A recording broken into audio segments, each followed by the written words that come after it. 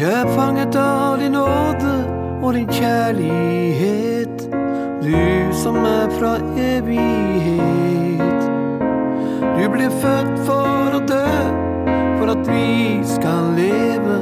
Du viste oss din herlighet.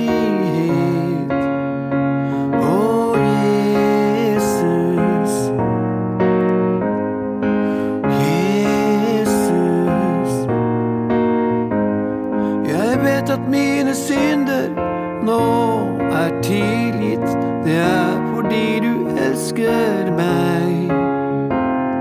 Du er lyset og håpet i dette mørket. Et liv som alltid viser vei.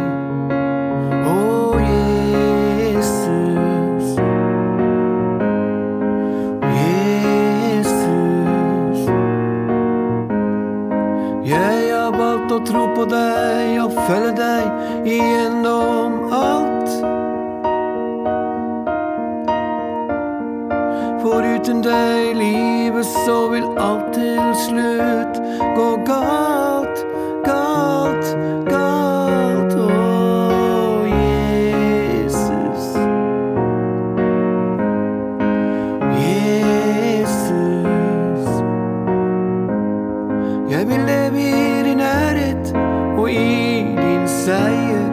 som du vant på korsets tre.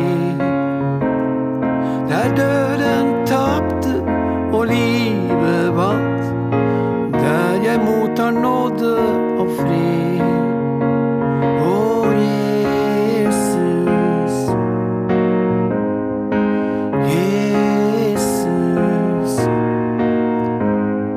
Jeg har valgt å tro på deg og følge deg igjennom alt.